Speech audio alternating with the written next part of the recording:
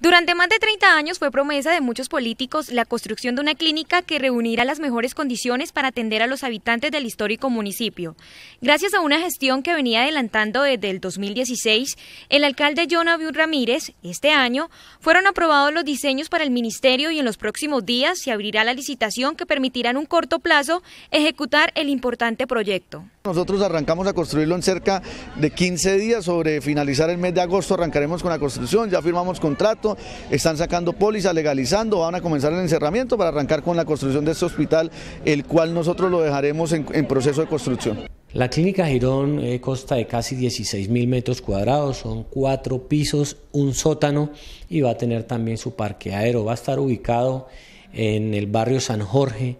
que considerándolo así va a quedar sobre el corredor de la salud que llamamos nosotros que es el anillo vial, en donde pues podemos encontrar clínicas tan importantes como la Internacional, la Foscal. El principal propósito es que los gironeses no tengan que movilizarse a otros municipios para recibir atención especializada o de carácter urgente. Son cosas de primera necesidad y traería pues mucha comodidad para la gente de este sector, que es algo nuevo y con tecnologías nuevas. Para Girón es muy importante,